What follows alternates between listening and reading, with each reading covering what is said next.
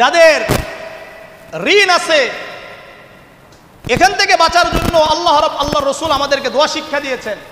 দুশ্চিন্তা আছে, এখান থেকে বাঁচার জন্য আল্লাহ তালা দোয়া আল্লাহ রসুল দোয়া শিক্ষা দিয়েছেন।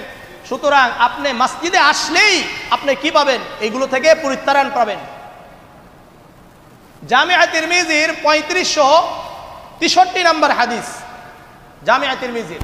عن علي أن مكاتبا جاءه فقال إني قد عجزت عن كتاب كتابتي فأعني আলী ইবনে আবি তালেব রাদিয়াল্লাহু তাআলা আনহুর কাছে একজন ব্যক্তি আসলেন আসার পরে বললেন হে আলী আমি আমার চুক্তি করা অর্থ সম- পরিশোধ করতে অক্ষম হয়ে গেছি মোকাতাব হলো ওই গোলাম যেই গোলাম তার মালিকের সাথে একটা চুক্তি হয়েছে যে এত টাকা দিলে ওই গোলামকে আজাদ করে দিবে এখন এই গোলাম আলী রদি আল্লাহ তালা আনহুর কাছে এসে বলছেন, হে আলী, আমি আমার চুক্তি করা যেই অর্থ, এই অর্থ পরিশোধ করতে পারছি না।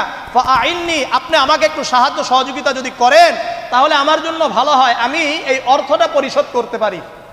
আলা আলী রাদিয়াল্লাহু তাআলা আনহু বললেন, আলা উআল্লিমুকা কালিমাত আল্লামানিহিন্না রাসূলুল্লাহি সাল্লাল্লাহু আলাইহি ওয়াসাল্লাম। আলী রাদিয়াল্লাহু তাআলা আনহু বলেন, আমি কি তোমাকে এমন কিছু বাক্য শিক্ষা দিব না? যেই বাক্য আমাকে আল্লাহর রসুল শিক্ষা দিয়েছেন, লাউ কানা আলাইকা মিথলু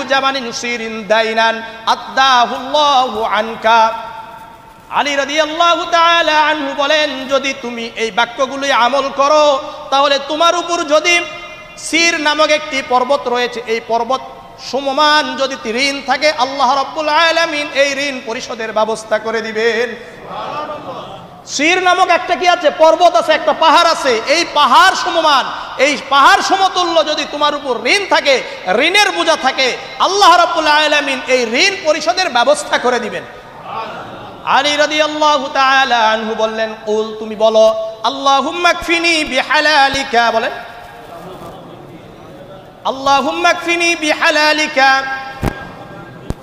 আন হারামিক ওয়া আগনিনি বিফadlika عمن سواك اللهم اكفني بحلالك عن حرامك واغنني بفضلك عمن سواك অর্থটা শুনেন কত সুন্দর আল্লাহ মাকফিনি হারামিক। হে আল্লাহ, আপনার হারাম থেকে আপনার হালালের মাধ্যমে আমাকে রক্ষা করেন।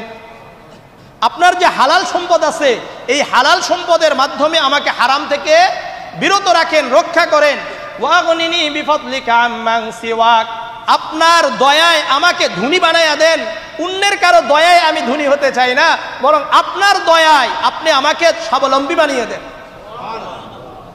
সুতরাং এই দোয়া করবেন ইনশাআল্লাহ আরেকটা দোয়া শোনেন সুনানে আবি দাউদের ওয়ান ট্রিপল ফাইভ কত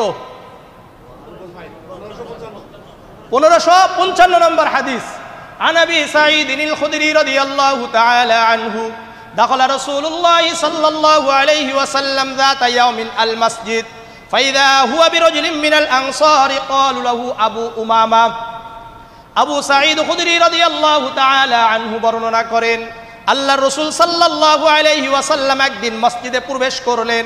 প্রবেশ করেই দেখলেন একজন ব্যক্তি বসে আছে। ওই ব্যক্তিকে বলা হয় আবু উমামা আল আনসারি নাম কি? আবু উমামা আল আনসারি ফাকালা ইয়া আবা উমামা। আল্লাহর রসুল বললেন, হে আবু উমামা, মালি আরাকা জালিসান ফিল মসজিদি ফি গায়রি ওয়াক্তি সলাত। নামাজের রক্ত হয় নাই। তুমি মসজিদে বসে আছো কেন? তোমার কারণ কি? এখন উনি বলছেন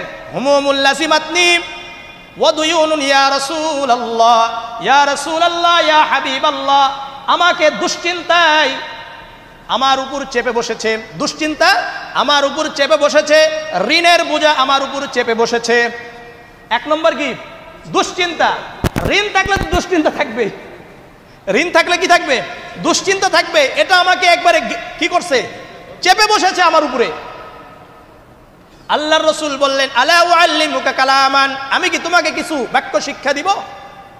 ইদা আংতা কুলতাহু। যদি তুমি এটার উপর আমল করো আল্লাহু হাম্মাকা ওয়া আনকা দাইনাক।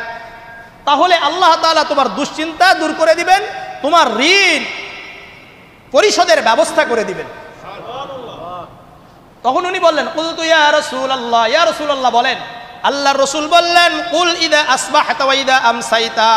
সকাল সন্ধ্যায় তুমি বলো, আল্লাহুম্মা, ইন্নি আউযু বিকা মিনাল হাম্মি ওয়াল হাজানি ওয়া আউযু বিকা মিনাল আজাজি ওয়াল কাসালি ওয়া আউযু বিকা মিনাল জুবনি ওয়াল বুখলি ওয়া আউযু বিকা মিন গলাবাতি দাইনি وقهر الرجال اللهم إني أعوذ بك من الهم والحزن আয় আল্লাহ আপনার কাছে আশ্রয় চাই দুশ্চিন্তা থেকে হাম্মি মানে কি দুশ্চিন্তা থেকে ওয়াল হাজানি অস্থিরতা থেকে ও আউযু বিকা মিনাল আজাজি ওয়াল কাসালি অক্ষমতা থেকে আপনার কাছে আশ্রয় চাই অলসতা থেকে আপনার কাছে আশ্রয় চাই আমি জানো অলস না হয়ে পড়ি।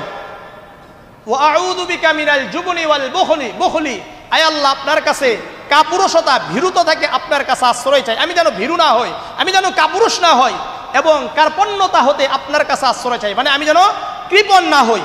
ও আউদুবিকা মিন গলাবাতি দাইন। আয় আল্লাহ, আপনার কাছে আশ্রয় চাই। ঋণের বোঝা থেকে, অকহরির রিজাল, মানুষের রোশনাল থেকে মানে মানুষ আমার উপরে চেপে বসবে, এরকম থেকেও আমি আপনার কাছে আশ্রয় চাই। আবু উমামা বলেন আমি এটার উপর আমল করতে থাকলাম। আল্লাহ আমার থেকে দুশ্চিন্তা দূর করে দিলেন। আন্নি দাইনি আল্লাহ রাব্বুল আলামিন ঋণের অর্থ পরিশোধের ব্যবস্থা করে দিলেন। সুতরাং এই কয়েকটা দোয়া বললাম। এই দোয়াগুলো করবেন তো ইনশাআল্লাহ। তাহলে আল্লাহ রবুল্লা আলমিন আমাকে আপনাকে হেফাজত করবেন।